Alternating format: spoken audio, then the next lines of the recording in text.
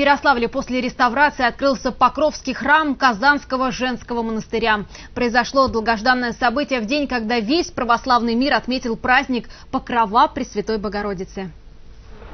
В Ярославле еще одной действующей церковью стало больше. В праздник Покрова Пресвятой Богородицы открылся возрожденный из небытия Покровский храм. Первую архиерейскую службу в нем провел митрополит Ярославский и Ростовский Пантелеимон.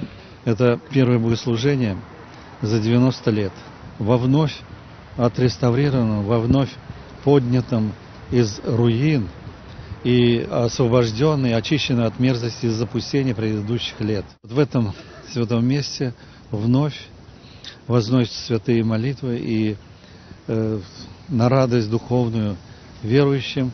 Этого события верующие Ярославля ждали не одно десятилетие. В 30-е годы Покровский храм был переоборудован под библиотеку, а в 1948 под планетарий. В мае 2011 церковь была возвращена Казанскому женскому монастырю. Специалисты отметили колоссальный износ здания.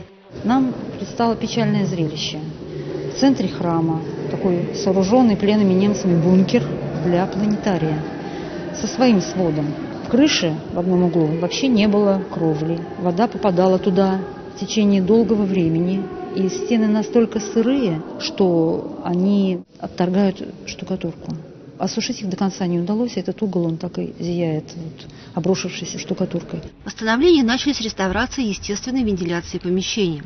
Путь к первозданному облику лежал через множество переделок. Объем работ был огромен, но это были радостные хлопоты, говорит игуменя Екатерина. Общими усилиями верующих было сделано новое отопление, произведен монтаж электропроводки, поставлены новые окна и двери, новая плитка на полу. Особых трудов стоило возрождение пришедших в негодность от времени фресок, стен и купола храма.